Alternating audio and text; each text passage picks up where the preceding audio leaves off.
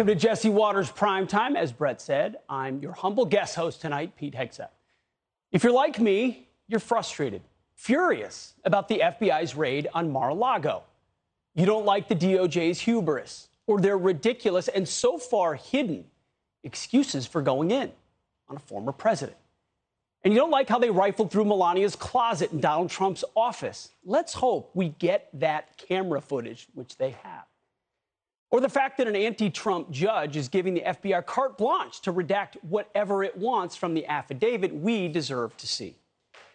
Maybe you saw Hunter Biden enjoying a free stay at a $20 million South Carolina mansion and thought to yourself, how come the FBI is not going after him?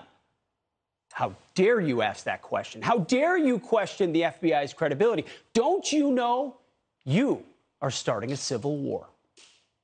At this point, I do think we have to have serious conversations around preparing for actual violence. Uh, people keep saying a civil war is coming. I would say a civil war is here. And I don't mean to be hyperbolic.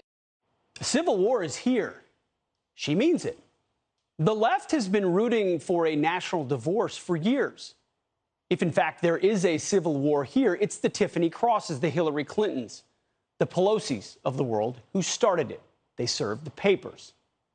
It's people like former CIA Director Michael Hayden who are to blame when they tweet that modern Republicans are, quote, the most nihilistic, dangerous, and contemptible political force in all of history.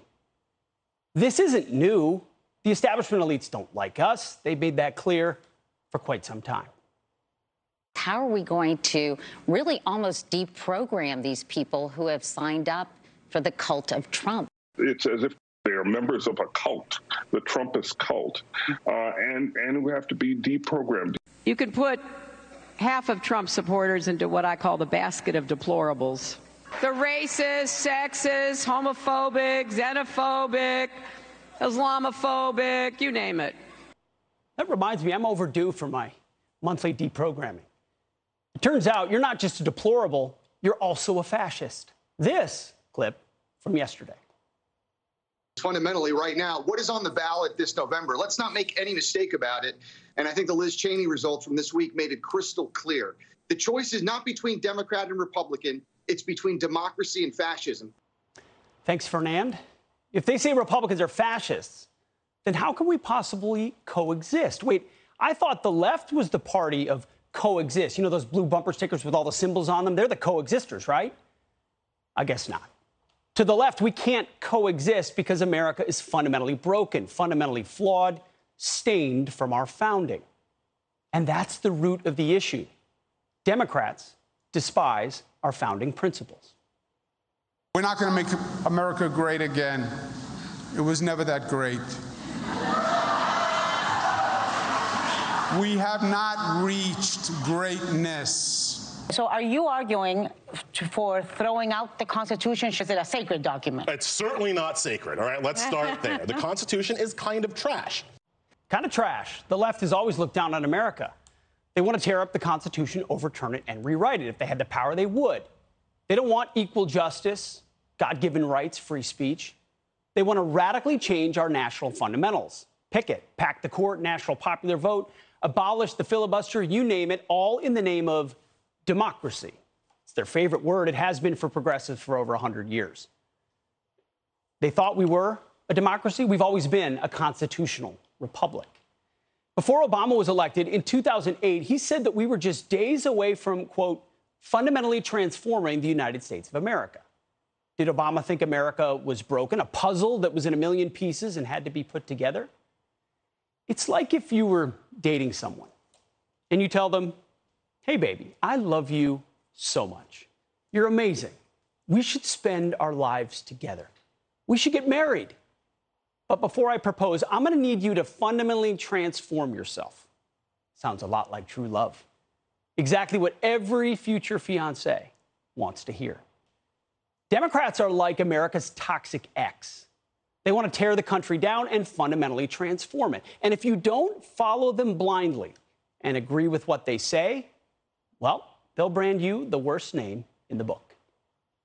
This is how things, how bad things begin. And it's how bad things be, have begun historically. It's how the Nazi, it's what happened in Nazi Germany. They began to burn books. They began to tell people how to think. That is what's happening with people like Rick DeSantis, people like Greg Abbott. People need to wake up. There's certainly a woke problem, but it's the fact that people need to wake up as to what's happening with these two leaders in this country. Nazi DeSantis? And they don't just think you're a Nazi or he's a Nazi, they think you're stupid. The problem the Republican Party has is they got really stupid people that vote in their primaries. And when, when you have that, you're going to get and really stupid people demand to have really stupid leaders. And that's where the Republican Party is now. It's depressing. Do you see the pattern here? Conservatives are dumb, deplorable Nazi wannabes. They're smelly Walmart people and they're getting in the way of the establishment elites' plans, both Democrats and Republican establishment elites. I don't know about you, but I'm tired of being looked at with contempt. We all are. We're tired of watching our fellow Americans get screwed by a system that arbitrarily chooses winners and losers. We're tired of a justice system that handles Hunter Biden with kid gloves, but commits smash and grabs at Mar a Lago. We're tired of a government that won't spend a dime on a border wall, but spends 500 large 500,000 on a security fence around Joe Biden's beach house. We're fed up with an IRS that's going to target small businesses with an army of new employees to pay for Joe Biden's dangerous and ridiculous green agenda, sold as reducing inflation. We're fed up with a system that constantly sees our FBI missing brazen criminals after dozens of warning signs are being flashed in their faces, all because they're too focused on framing people up in Michigan, raiding the former president's home, and targeting parents who speak out against critical race theory. Not to mention January 6th, the top obsession of our Department of Justice. But you can't question the FBI, and you sure as heck can't question the January 6th committee, even though they've done nothing but create a spectacle and wasted time and money. We're told to shut up, because if not, then we're the problem. We're the racists and the fascists. How dare we question them? How dare we question the credibility of a corrupt system they've built and polished for their own political benefit? And if we do, then they say we're undermining faith in democracy. It's their favorite phrase. They want to paint us as the villain because they make people like Ron DeSantis, Governor Abbott, former President Trump, me, you, the enemy. And that allows them to justify grinding us into the ground. The ends justify the means, they believe. Now, tonight, we're not calling for a civil war or a national divorce, but the left sure is. It's plain to see that the parents, well, they've been sleeping in separate beds for years. The kids hear all the screaming and know exactly what's happening. And divorce attorneys have been consulted. Just listen to them. The left is calling for a divorce because for decades, and now out in the open, in large part due to being triggered by Donald Trump, the ultimate outsider and truth teller, they hate what we revere the core of America God given rights, free speech, personal freedom, limited government, government, balance of powers, equal justice for all. We revere equality, not equity. We revere diversity of thought, not skin color obsession. We revere real, real tolerance, not so called inclusive intolerance. Now, before a Democrat stoked national divorce arrives, is there room for a counseling session? Is the left actually capable of loving America, despite its flaws? Could they handle a red wave in November? Could they handle a Trump win in 2024? Or would both only deepen their spite for our republic? It's scary, but it's staring us in the face because they say so. And we ought believe them when they talk.